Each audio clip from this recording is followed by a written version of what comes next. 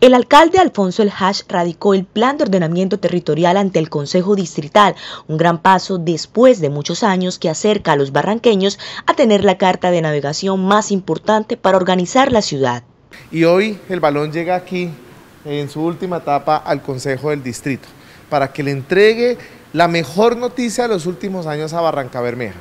Con el POT además se regulará la protección ambiental, la calidad de vida de las familias barranqueñas, los servicios públicos en los barrios, más oportunidades del desarrollo, empleo y más inversiones para todo el distrito. El principal instrumento de planificación para el desarrollo de nuestro territorio. Sin duda el POT marcará la pauta de unas administraciones con una inversión que le apueste a un modelo de ordenamiento territorial concertado por toda la comunidad invitar desde ya a los 17 honorables concejales a que se unan a este material de estudio, a este documento, a este proyecto de acuerdo, porque Barranca Bermeja lo necesita y cómo no darle ese gran regalo a Barranca Bermeja en sus 100 años de vida municipal. Son más de 500 artículos, 9 documentos, 7.000 folios y 142 mapas que fueron construidos con la comunidad y concertados con el Consejo Territorial de Planeación y la Corporación Autónoma Regional de Santander, CAS. Ahora este documento queda en manos del Consejo de Barranca Bermeja.